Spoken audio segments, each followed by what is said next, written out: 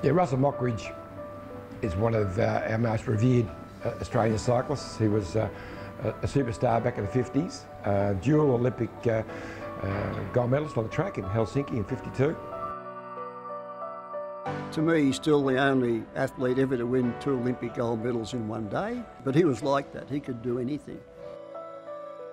But he uh, was very famous in Europe because you know, he was one of the world's best track sprinters. He won the uh, uh, Grand Prix of Paris as an amateur, beating all the pros, and then became a, a, great pro sprinter. And then rode the Tour de France and finished it. He was very, really held in, a, in high esteem for that. Tragically, uh, Russell was killed in the in the, in the uh, Tour of Gippsland um, one day road race, just in the corner of uh, Dandenong Road and, and, Clayton Road, and uh, the whole of Australia uh, went into mourning. It was uh, a, a, terrible occasion. Well, I was, I was, racing with Russell the day he was killed. Uh, one of those unfortunate accidents. A, a black Vanguard had passed us on our right to, to a right-hand turn down into Clayton Road.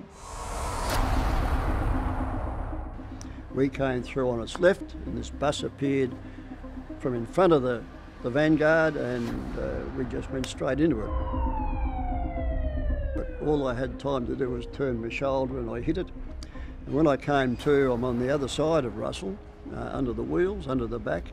Uh, the bus started to roll back onto his legs, and I went to pull him out, but I couldn't because my shoulder was busted. But he, he was dead. Then his head was split open.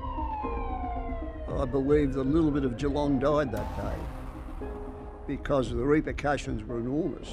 I mean, even now I go out riding, and I still think about it.